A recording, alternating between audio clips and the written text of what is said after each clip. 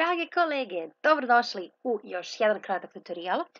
Ovaj put se bavimo nečim što nije toliko popularno, a to je Google Sites. Zašto se onda time bavimo ako nije toliko popularan?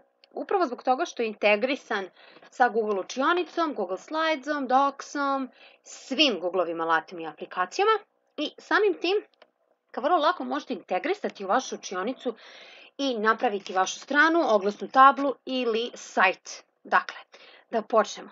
U ovom tutorialu ću vam pokazati kako lako napraviti jednostavan sajt preko Google sajta.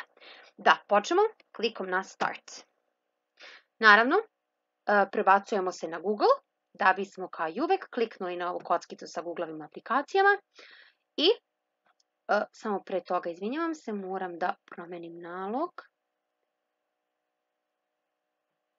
Sekunda.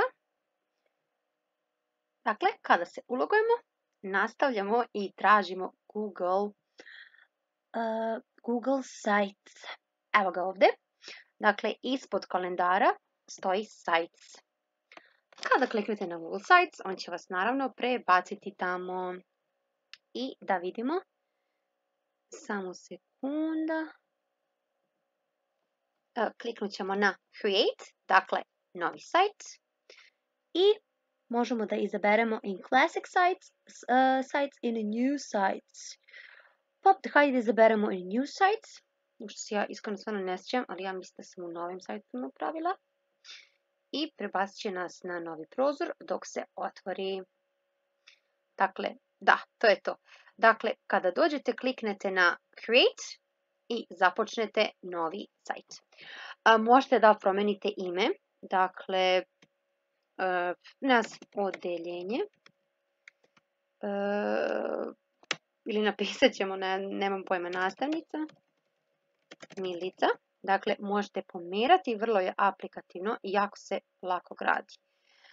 Dalje, možete da promenite change image, možete staviti drugu sliku.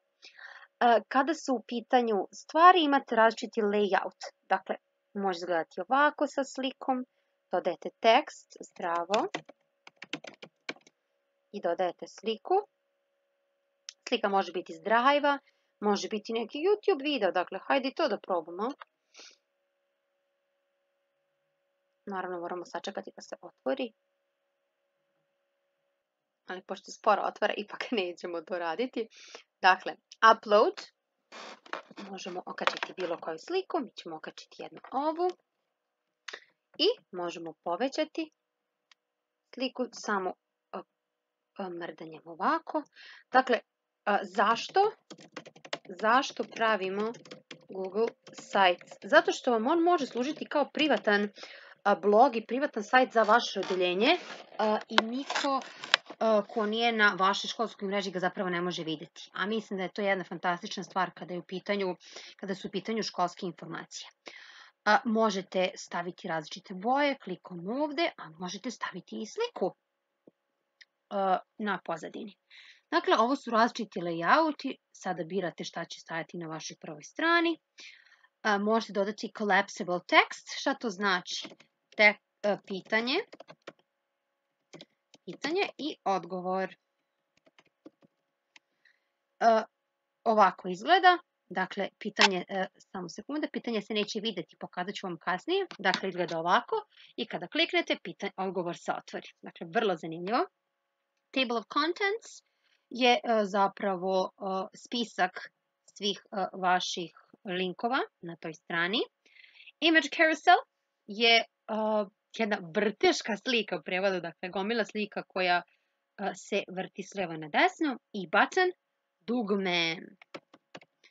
I naravno stavite link, a mi možemo staviti link na primjer ka bilo čemu. Evo šta je ovde otvoreno i spremno, to je Kahoot napravit ćemo link ka Kahootu i kada stavimo insert, to se dugme pojavljuje, mi ga možemo pomeriti bilo gde po ekranu, po ovim kockicama i ona će tu i ostati. Dakle, e, zapravo je vrlo, vrlo, vrlo aplikativno i jako jednostavno, čak i za ljude koji nikada nisu pravili sajtove. E, naravno, sve je povezano s Google Drive-om, tako da evo možemo direktno iz njega deliti fajlove. ja imam ovdje jako puno PDF-ova sa Harry Potter Escape Rooma. Evo, trenutno sam ubacila jedan PDF ovdje direktno. Kada ubacimo PDF, naravno, možemo da ga podešavamo i može biti veći ili manji, mi ćemo staviti jako veliki. šta možemo još da uradimo? Dakle, Drive, Images, Text, Embed. Uporno sam vam u svim tutorialima pričala o embed kodovima. Šta se sa njima dešava? Dakle, možete da pastujete bilo šta sa embed kodom u Google, u vaš Google Sites. To je nešto stvarno fantastično. Hajde da probamo sa bilo čime. Na primjer, imamo ovaj interaktivni krug sa pitanjima ili biranjem učenika. Kliknut ćemo Embed Wheel, dobit ćemo kod, kliknemo Copy, vratimo se u sajt, pestujemo ovaj link. Kliknemo Next i šta se dešava? Samo sekunda, sačekat ćemo da se pojavi. Sad ne znam gdje se pojavio, što je zapravo čudno. Trebalo bi da se pojavi ovdje. Dole. Ćemo probati opet, pošto neki put ne radi. Next. Mora da je neka greška. Probat ćemo sa običnim URL-om. Dakle, link sa YouTube-a. Jedna pesnica za decu, moja omiljena. Dakle, ukoliko nešto ne radi, znajte da se dešava i da to stvarno nije problem. Kliknemo Insert i ona će se ovako odavde pojaviti na vašem Google sajtu i možete da podešavate veličinu i radite bilo šta. Uh, što se tiče strana, kliknete na Pages i možete da dodate strane. Kliknete na plus, strana 1, dan, gotovo. Strana 2, dan, gotovo. Strane se pojavljaju gore u uglu kao na pravom sajtu, a strane također možete editovati, dakle svaka posebna strana vam je jedna nova, apsolutno prazna strana. Ako kliknete na ova tri plusića, možete da dodajete stranice između i ono što je meni zanimljivo je možete da sakrijete vaše strane od navigacije. Zašto krijemo strane od navigacije? E, na primjer, želimo da učenicima napravimo neke zadatke za vreme časa koje će koristiti i ne želimo da oni to diraju pre časa, tako da možemo da sakrijemo stranu. Sa vaše strane vi ćete uvek vidjeti. Dalje, ako odemo u Teams, imamo razne vrste tema i možemo da vidimo kako će naša strana izgledati. Dakle, možete da editujete vašu stranu na više načina. Kada se vratimo na prvu stranu, hajde se vratimo na home, vidimo ovdje jednu ikonicu, što znači preview. Dakle, vidjet ćemo kako će naš sajt izgledati učeniku s polja. Evo, ja sam napravila jedan jako jednostavan Google sajt. Polo je prazan, naravno. Dugme, kada kliknemo, link vodi na drugi sajt. Ovdje imamo jedan dokument, koji možemo scrollovati, možemo naravno sačuvati i jedan video ovdje. Dakle, ovo je jedno fantastično rješenje za nastavnike koji koriste Google Classroom i svi učenici vrlo jednostavno mogu napraviti sajt sebi na vašem školskom Google sajtu. Da se vratimo u posljednju stvar, a to je ovaj plusić ovdje, Share with others. Dakle, ovaj sajt je, Google sajt je napravljen na koliko vidim, da, sajt je napravljen na školskom nalogu savremene gimnazije, tako da tehnički svi koji imaju pristup školskim nalozima mogu da vide sajt. Dakle, ukoliko kada napravite školski nalog za vašu školu, vi zapravo možete da podelite to sa svim učenicima koji su umreženi. Dakle, kada se umrežite, uopšte nema znanja čak ni linkova. Ja sada hoću vama da pokažem jedan od mojih Google sajta sajtova, izvinjavam se, koji sam upravo pravila za savremenu gimnaziju i za profesionalno savršavanje sa Harry Potter radionica. Dakle, da počnemo. Ovako izgleda na kompjuteru, soba 1. I kada kliknemo ovdje Start, dakle, kao što vidite, ja sam ovdje embedovala jedan kviz iz napravljenu Genialiju. Koliko vas interesuje kako se koristi Genially, idite na taj tutorial. I idemo kroz strane rešavajući zadatke.